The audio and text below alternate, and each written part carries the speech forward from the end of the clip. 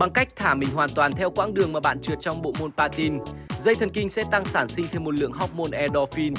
Adrenaline cũng được sản xuất sau đó bơm máu, hấp thụ oxy và tạo ra cảm giác sảng khoái. Vận động thể chất giúp giải tỏa căng thẳng và mệt mỏi thường ngày. Trượt patin sẽ giúp bản thân bạn và cả gia đình bạn được giải trí một cách lành mạnh nhất. Quý vị thân mến, trẻ trung, năng động, hiện đại và đầy thể thao, đó chính là những tính từ miêu tả về bộ môn inline skate hay còn gọi là trượt patin nghệ thuật. Và đây là môn thể thao rất được nhiều bạn trẻ ưa thích và chúng ta sẽ cùng nhau tìm hiểu về môn thể thao này ở trong chương trình Xe và gia đình hôm nay. Còn bây giờ sẽ là những thông tin mới nhất về những chiếc xe.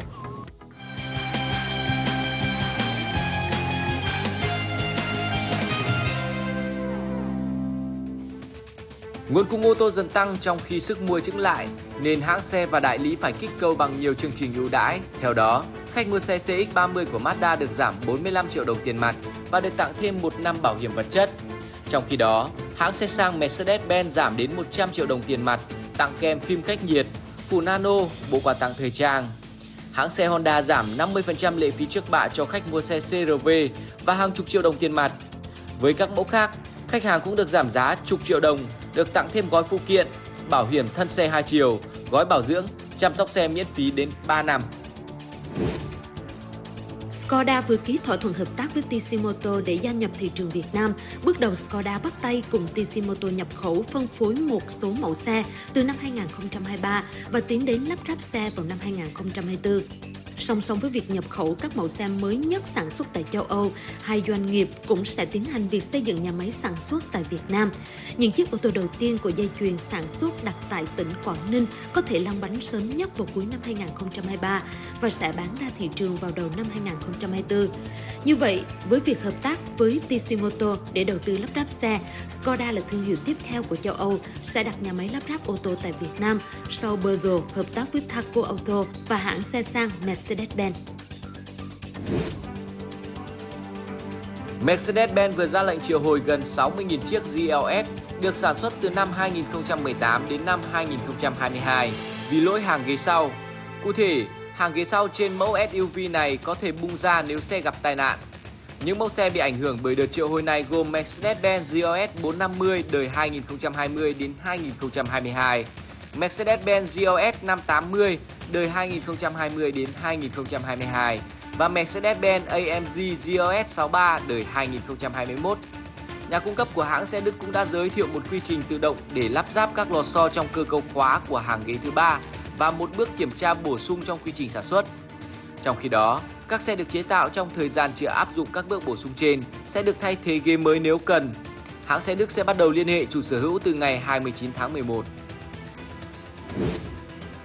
Ở lần cập nhật này, Honda Jazz 2023 có bản thể thao hoàn toàn mới có tên là RS với gói body kit hầm hố bao gồm tản nhiệt lớn hơn, hốc gió sắc sảo hơn, mâm hợp kim 5 chấu, thêm cửa kéo dài, cánh gió sau, ống xả chrome và huy hiệu RS độc quyền.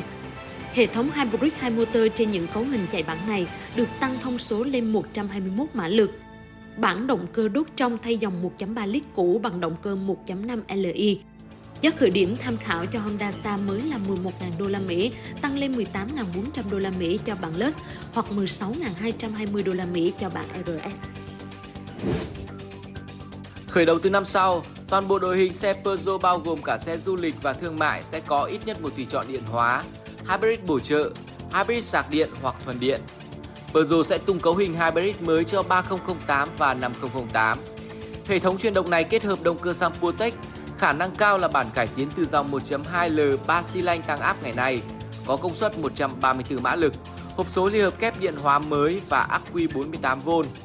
Theo Peugeot, cấu hình này giúp giảm 15% nhiên liệu tiêu thụ và khả năng vận hành tạm 1 km không cần xăng ở tốc độ thấp.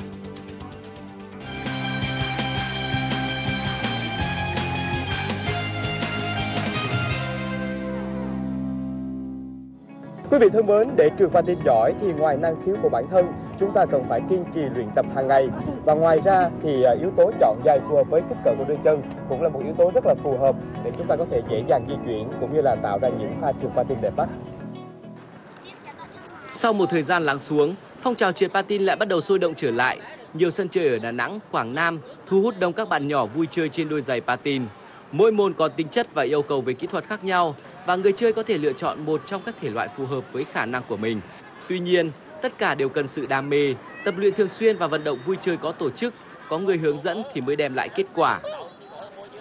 Hồi xưa đến giờ là từ 3 tuổi trở lên là mới tập được nhưng mà hiện tại thì tụi em có các bạn nhỏ tầm 2 tuổi rưỡi trở lên nhưng mà cứng cáp á, thì tụi em vẫn có thể hướng dẫn thêm cho bé là các bạn như vậy là sẽ tập kiểu là mình làm quen từ từ đứng trên giày đã chứ không nhất thiết là phải mang giày vô là trượt giống như các bạn kia. Bạn nào mà mạnh dạn thì mình sẽ đi nhanh hơn, có độ uyển chuyển. Con tập patin hồi lâu ngày rồi. Bài học rắn rồi. Dạ thăng bằng rồi con con để đi đi nè là con đi đi rồi rồi con bữa nay con qua bài mới rồi con thích đi học thì ở đây có nhiều mấy bạn chơi vui một trong những lợi ích lớn nhất của patin đến từ niềm vui mà môn thể thao này mang đến cho người chơi. Việc trượt patin cùng một người bạn đồng hành sẽ giúp bạn xả stress hiệu quả sau một ngày làm việc căng thẳng, áp lực, làm tăng niềm vui, hứng khởi và sự thích thú của bạn. Con rất thích trượt patin, ờ, với lại nó gắn kết được tình tình bạn với anh em lại. Đây là môn thể thao hoạt động chân tay, nó giúp con rèn luyện được sức khỏe. Từ năm 2017 đến nay, phong trào trượt patin với nhu cầu rèn luyện sức khỏe thể chất bắt đầu phát triển, đặc biệt đối với trẻ em. Phụ huynh biết được lợi ích thiết thực của môn chơi này mang lại cho con em mình nên khuyến khích các bạn nhỏ tham gia rèn luyện.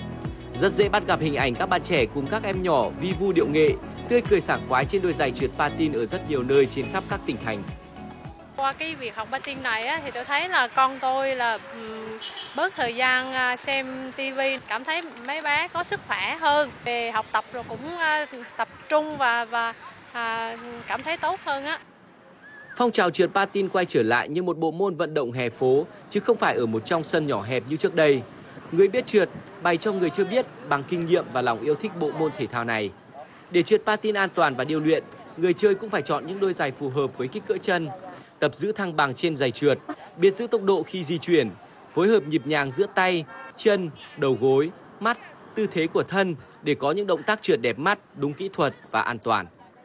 Có những cái đồ tập ở trên sân thầy cô phải hướng dẫn này kia rồi à, bác phải tập nhiều lần như rớt thì mới đây chơi được. Trong vòng một tháng là bác có sẽ à, chơi những cái trượt những cái, cái cái trò rất là đẹp và chạy rất là nhanh. Môn thể thao này thì à, giúp cho cháu có được cái độ bền. Khi mà bé tham gia thì anh bé cũng rất là muốn theo cùng cái bộ môn. Cảm giác hai anh em sẽ có nhiều thời gian hơn trong cái công việc là giải trí. Trượt patin là hình thức thể thao kết hợp giải trí lành mạnh phù hợp, gia tăng tình cảm gia đình cũng như đem đến những người bạn mới, biến cuộc sống của bạn trở nên màu sắc hơn. Đối với người chơi, patin hấp dẫn bởi nó giúp thỏa mãn nhu cầu chinh phục tốc độ, có được cảm giác mạnh khi thực hiện các kỹ thuật đặc biệt, đồng thời đem lại sự phấn khích như đang bay vi vu trong không khí.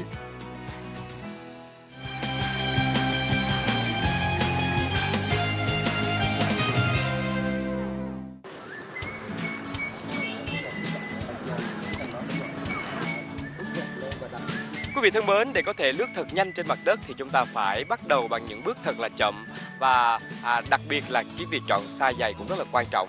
Và để tìm hiểu rõ hơn về vấn đề này thì chúng ta sẽ cùng nhau tìm hiểu cùng với anh Phạm Trưởng ạ. À. À, anh Phạm Trưởng ơi cho em hỏi là cái việc mà mình chọn một cái size giày của giày trượt patin thì có khác gì so với à, chọn giày thể thao bình thường không ạ? À? Độ tuổi từ 2 đến 3 tuổi, 5 tuổi thì những cái size giày khác nhau và thường thì mình sử dụng những cái độ tuổi ờ, trẻ nhỏ như vậy thì mình sẽ sử dụng dòng dài những cái mẫu dài dài khung dài nhựa và những cái farm như này và bánh bánh ờ, cao su. Thì nó sẽ bảo vệ cho bàn chân bé. Khi mà mình mang vào nó rất là ôm chân bé. Nó sẽ không bị làm lỏng bàn chân bé nó dễ gây lạc sơ mi. Còn về đối tượng size lớn hơn ví dụ như một số bé là từ ờ, độ tuổi cấp 2, cấp 3 thì mình chăn thường là size lớn chăn size lớn 35, 36 trở lên thì mình sử dụng những cái dòng dài cố định size. Chủ yếu là mình chọn ôm chân khi mình mang vào thì uh, lúc ban đầu á, thì nó sẽ ôm chân nhưng mình chơi thời gian thì cái bút này nó sẽ bị mỏng ra thì nó lại sẽ phù hợp. Quý vị thân mến, ngoài việc lựa chọn chiếc giày phù hợp với chân của mình cũng như là các chất liệu để mà bảo vệ an toàn thì chúng ta còn có những cái phụ kiện khác để ờ, bảo vệ an toàn khi mà tham gia môn thể thao này. Anh có thể giới thiệu kỹ hơn về các ờ, phụ kiện đó không ạ?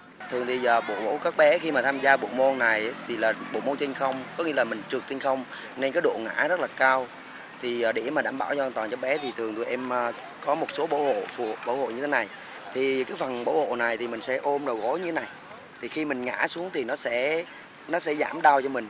Còn những cái vòng bảo hộ này thì mình sẽ mang những cái kiểu tay thì mình có 6 món cái kiểu tay như này. Thì mình mang lúc mà mình ngã xuống mình đè thì nó sẽ không có bị uh, xương ống biển này. Và có một cái bộ hộ quan trọng nhất là cái bàn tay. Để khi mình ngã thì mình cái này nó sẽ không bị đau. Và không kém nữa phần đà cái nón. Lúc mình ngã thì bảo vệ được cái đầu mình sau khi trò chuyện với anh Phạm Trưởng thì chúng ta đã tìm hiểu được à, cách chọn size giày phù hợp với chân của mình à, cũng như là cách bảo vệ an toàn à, khi mà tham gia môn thể thao này. Và một lần nữa xin được cảm ơn anh Phạm Trưởng đã giúp em tìm hiểu rõ hơn về à, các à, cách lựa chọn giày ạ.